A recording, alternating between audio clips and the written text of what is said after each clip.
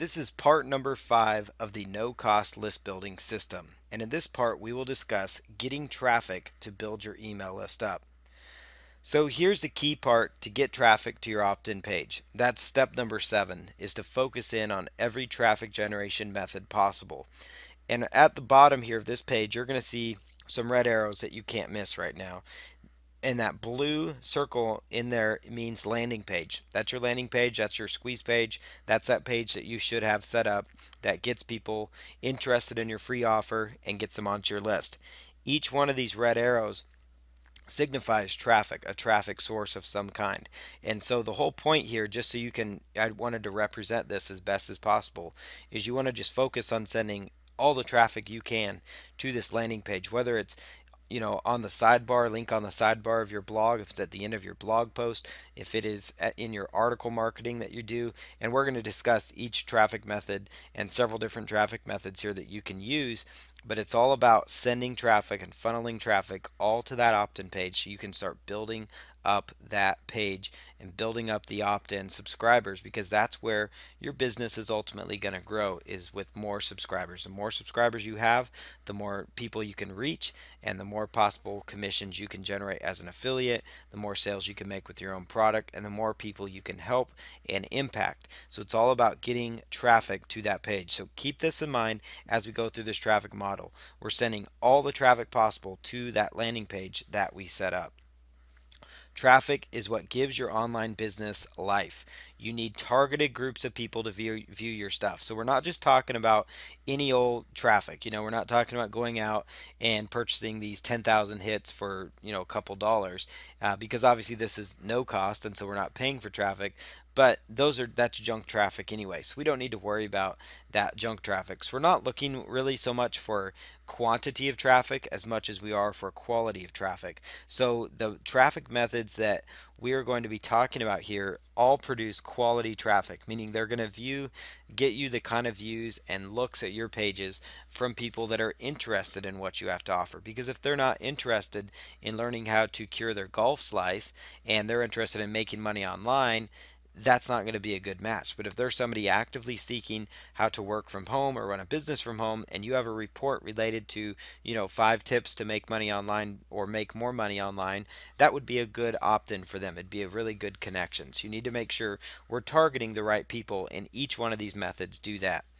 Sales or opt-ins cannot happen without traffic. Just because you build a landing page, just because you build a good blog, it doesn't mean you can just let it sit there and they will come like a field of dreams. You know, that's that's not what it's about. It's about building something up and then getting traffic, getting foot traffic in the doors through marketing. More important is how you get the right kind of traffic. That's ultimately what it boils down to. We want to get targeted people to our opt-in page. So send all your visitors to your landing page no matter what. So I wanted to show you that in this diagram so it makes sense. All your visitors are going to be going to this landing page. So all these traffic methods we talk about, they need to end up on your landing page, the one that you just created recently. So here are several free traffic methods. Social media post. Facebook. You can go out there on Facebook. There are a multitude of targeted groups depending on really any niche market you're in. There's groups and there's online communities built in just through Facebook, loads of those. There is Twitter as well. You can build up a Twitter following. You can go out and follow other Twitter users. You can go in there, find people that are in your niche market, follow those people and then see who they are following who's following them. So find the big players which maybe have 10,000 or so Twitter followers or maybe 5,000 and go out there and see who is following them and start to follow those people. Next thing you know they will follow you back and now you're building up a targeted following of potential users you could also go out to Pinterest and you could create, you know, pictures related to your niche market, pictures that depict uh, your niche market or problems within your niche, and you could create Pinterest pinning boards, as they're called, to really draw you know draw more people and get more excitement. Uh, Google Plus, that's another uh, definite possibility for you. It's great because as you do different sorts of content, like if you do a blog post or you do a video, you could post it out on Google Plus, and that video or that blog post then would lead people into your landing page. Squidoo.com or HubPages.com. These are really good sources of traffic. They're high traffic. They want high quality, unique content. So if you can create unique content rich pages to send traffic to, you can be in business. You can do very, very well and you can create really good high quality Squidoo pages or hub pages with different modules on them and use that to funnel traffic into your landing page. So link to your landing page from those pages. YouTube.com. This is where you could create short and informational videos to draw your market in. You could find questions that people have in your niche market and then you could create very short informative videos around those topics to bring them in write and submit a press release about your free report. So you've you've created a free report or a free offer of some sort and you have it on your opt-in page, that would be worthy of writing and submitting a press release. You can Google the phrase submit press release free to find more. Submit press release free, and you'll come across a great updated list of press release sites that you can list on. Look deep into the results too. Look for the fir- the second, third, and fourth pages on Google to find many more free press release sites that you could submit to. Also, when you're on these sites, you're going to see what a press release looks like, how it's formatted, and it's typically going to answer the questions. You know who what, why, when, and where. So, who is the press release about? It's about your website. Uh, what is it about? It's about your free report and how it helps people. When was it listed? When was it created? And you could talk about, you know, just last week or just recently. How did you, you know, come about doing this? What inspired you to do this? Those are the types of questions to answer in your press release. And then make sure you're linking, that you're providing a link that sends people to get to your opt in page. Also, posting on relevant niche forums is a phenomenal way to get traffic. And again, I mentioned that forums that allow signatures because that's really important. If there's no signature link that appears below each person's post, it's not going to do you any good to have um, you know hundreds of posts or thousands of posts or whatever because you're not going to necessarily be able to pick up uh, the audience that you're looking for. So be active and engaging on the forums. Don't spam your link. And when you're looking for forums in your niche you could go out to a site uh, called board reader as well. You could google this phrase. It's called board reader. And it's a software where you can type in keywords and find uh, boards uh, forums and message boards related to your niche market. You could also just go out to google type in your niche and the word forum and look look for those forums. As you're browsing them, look to see if they have a signature link. Some of them may not let you put your signature in there until you've got 5 to 10 posts, and that's completely fine. Uh, but it's all about being active and engaging. Ask questions, answer questions. Don't spam your link. So don't put your link into the box. Say, hey, I created a free report that discusses this because that's going to end up getting you banned. But if they if they allow a signature line, what you can do is say, you know, click here for my free report on ending uh, bad breath or on fixing your relationship problems or be better at long distance relationships, those types of things. Provide that link in the signature. Write articles. Submit quality articles about your niche to top sites online. So these top three article websites that you could write and submit articles to, I mentioned these and referenced these in the first part of this process when we were talking about how this system works and we were discussing you know places to go to find good content for your free report.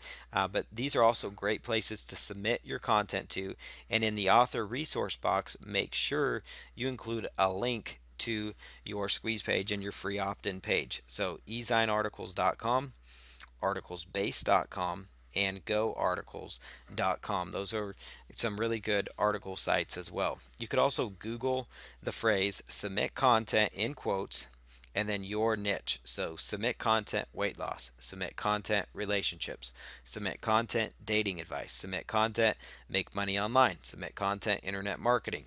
You get the idea there and you could find niche places where you could submit your content and get further traffic and traction going to your site.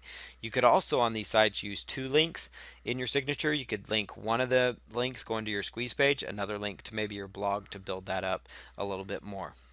Write a short report or PowerPoint. You could upload to a site called edocr.com and then also slideshare.net. So you could do a short report or a PowerPoint uh, just like this here with bullet points about your niche market. Upload it to these sites. You could further record this PowerPoint and then you've got a YouTube video as well that you're uploading. Link to your opt-in page in the bottom of the PowerPoint or the bottom of the short report. Join relevant groups on Facebook related to your niche market. We pretty much touched on that at the, the, one of the first traffic methods when talking about social media. So there's lots of groups to join there within your niche. post your squeeze page link where it makes sense. You don't want to go in there and spam it and spam the links, but you can put it in the, in there. Create your own Facebook page. You could create your very own Facebook page about your niche or your very own Facebook group, and then you could funnel traffic uh, through these pages. So from your blog, you could link to this page. You could uh, send people from within different groups to your own page, and that way you're getting people onto your own platform so you can do your own marketing to them. Also include your opt-in form in sidebars of your free blog. So if you have a blogger blog or a Tumblr blog, you could use the opt-in form on the sidebar. So you could take your opt-in form and embed it on the sidebar of your blog. Create lots of content for your blog because that's really what it's going to boil down to. It's all about creating content, good content that gets eyeballs and gets people reading your materials. Ad swaps is another good idea. This is where you, they're shared email swaps. So what it entails is you find people with relevant lists in your niche and you, you agree to a certain date and time when both of you will email your respective list. And they will send traffic to your opt-in page and you will send traffic to their opt-in page. It's a really good way to swap traffic or swap leads in a sense. Uh, but the beauty of it is your leads still stay with you even after they get them. So you're actually building up your list and building a partnership do this after you've built your list up a little bit. So you probably can't do many ad swaps until you have a list of, you know, four to 500. Sometimes you could get away with it for a smaller list of like 100 people. Um, but you don't want to overuse this method either. You don't want to bombard people with this. Uh, this works really well in the internet marketing niche. There's a lot of them, a lot of health ad swaps as well, and other like uh, forex and and those kind of niche markets like the stock advice and stock trading markets do have ad swaps too. Um, but that's a method you would do after you've built your list up more. But I did want to mention that. This is a really good way to build that list up is to offer services of your own or free offers on product launches. So what you would do is contact product owners in your niche, people that are launching a product in your niche market and offer to do something for them and in exchange all you want is just a link on their download page. So you want to have a link on their download page. A lot of them may not be open to this, but if you're doing like a free service for them, uh, something that could help them or their subscribers, maybe you're doing a free training, they're going to be more apt to give you some space on their download page because it gives them an additional bonus. So offer relevant content that they could use. Um, a good idea, you could use a site like muncheye.com or look for the leading launch boards for updates on what's coming up next. And that way you can have a leg up and contact them ahead of time and say, hey, I see you have a launch coming on, coming up on such and such date. I would like to create a free report to put on your download page. And you can see what they say. Sometimes they'll say yes, sometimes, you know, most of the time they may say no, but it's just about putting yourself out there, seeing what happens because it's a great untapped tool to find all kinds of you know users to get onto your email list. Be consistent with your traffic methods. It takes more than one article it takes more than one video it takes more than one blog post more than one press release and you get the idea. So those who have success they might have 10 to 20 really good articles. Those who have success might have 20 to 30 videos out there. So it's going to take time it's going to slowly build up to where you have that nice sustainable traffic Traffic is a process that you should never stop. You are probably never going to be done with your traffic generation because that's the only way to keep getting sustainable income and passive income and keep getting that traffic that keeps coming in for you. So now it's time to get out there, start work on getting traffic, and then once you scale this up, eventually you could move into more of the paid traffic solutions. But for now, let's get out there and start building our traffic up.